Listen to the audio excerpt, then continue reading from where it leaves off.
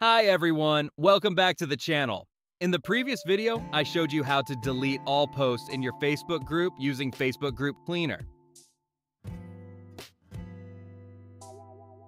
Today, I'm going to guide you through deleting posts specifically in the pending approval section of your group. Perfect for managing those waiting to be approved without hassle. First, go to the download link in the description below and download the zip tool file. Once downloaded, open your downloads folder, find the file, and extract it to an easy-to-find folder.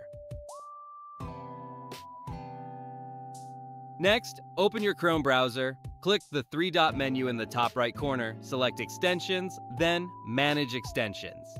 In the Extensions page, enable Developer Mode at the top right.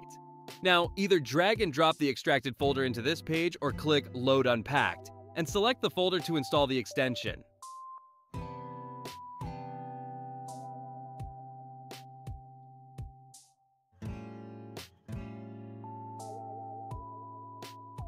After installation, you'll see a puzzle piece icon appear on your toolbar. Click it and pin the extension for easy access. Open the extension, Fill in all the required details shown on the screen carefully to ensure everything runs smoothly.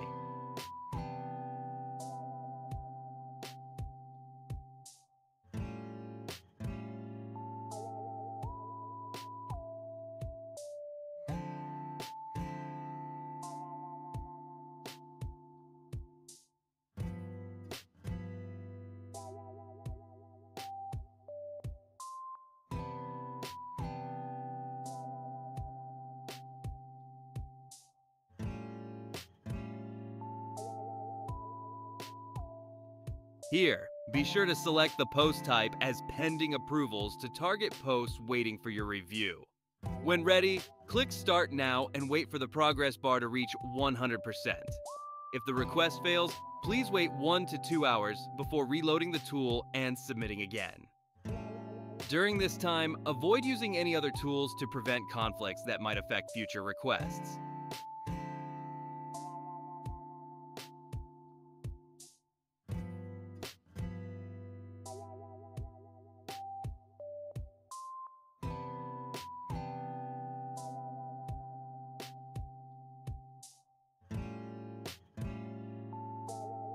Once you see the request has been submitted and successfully message, head back to your group and check the results.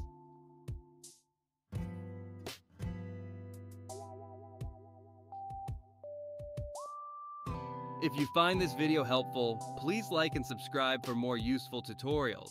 Good luck and happy cleaning!